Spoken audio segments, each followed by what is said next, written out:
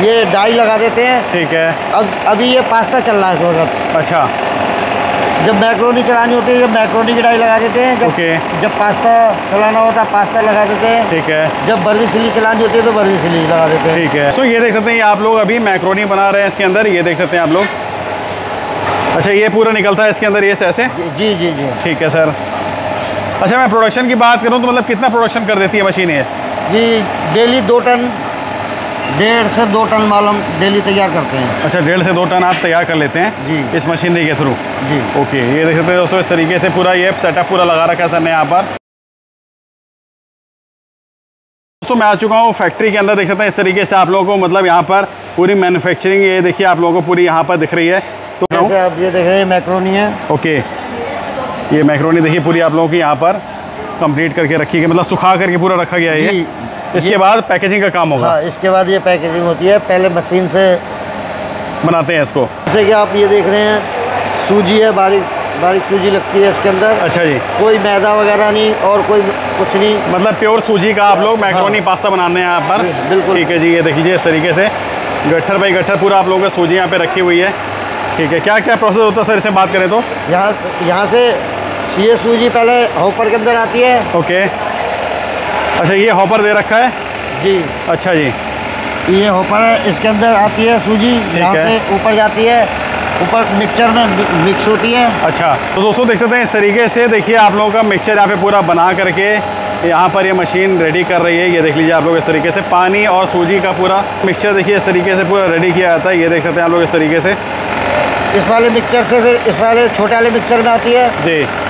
फिर इसके बाद में फिर यहाँ पर ये डाई लगा देते हैं। ठीक है। अब अभी ये पास्ता चल रहा है इस वक्त। अच्छा। जब मैक्रोनी चलानी होती है जब मैक्रोनी की डाई लगा देते हैं जब ओके। जब पास्ता चलाना होता है पास्ता लगा देते हैं। ठीक है। जब बर्वी सिली चलानी होती है तो बर्वी सिली लगा देते हैं। ठीक है। तो ये देख सकते हैं आप लोग अभी मैक्रोनी बना रहे हैं इसके अंदर ये देख सकते हैं आप लोग। अच्छा ये पूरा निकलता है इसके अंदर ये से ऐसे? जी जी जी ठीक है सर। अच्छा मैं प्रोडक्शन की बात करूँ तो मतलब कितना प्रोडक्शन कर देती है मशीन ये?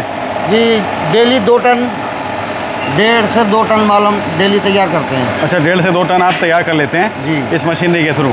जी। ओके ये देख सकते हैं दोस्तों इस तरीके से पूरा ये सेटअप पूरा लगा रखा है सर ने यहाँ पर। अब जैसे कि इसके ऊपर डाई लगाई जाती जी। है अब हम ये पास्ता लगा रखा है। हाँ। ये पास्ता की डाई लगी हुई है पास्ता चल रहा है। ठीक है। जब मैक्रोनी निकालनी होती है तो मैक्रोनी की डाई लगा देते हैं। ओके। जब बर्वी सिली चलानी होती है तो बर्वी सिली की डाई लगा देते हैं। ठीक है। जब हमारे को पेनी पास्ता लगाना होता है तो पेनी पास्ता की। ओके। यहाँ से मशीन से यहाँ पर आता है माल यहाँ से फिर इसके अंदर ट्रॉली में लगता है। अच्छा। फिर ये ट्रॉली जो है यहाँ से सीधी ड्रायर के अंदर आती है। अच्छा जी।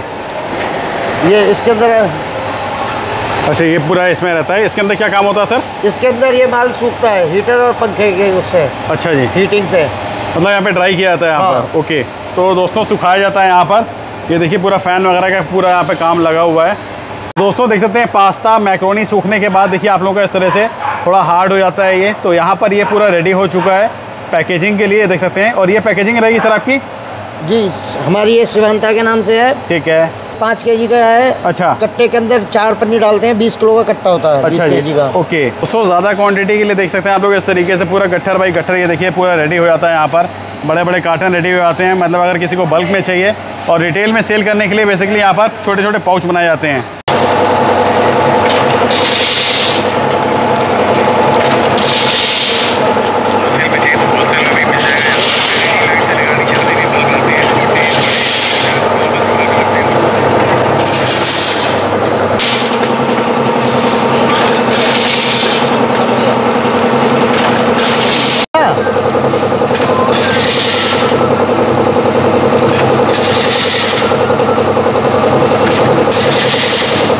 ये मशीन से पैकिंग होती है छोटी वाली जैसे 100 ग्राम डेढ़ सौ ग्राम ढाई सौ ग्राम तक हम इससे पैक करते हैं। अच्छा जी।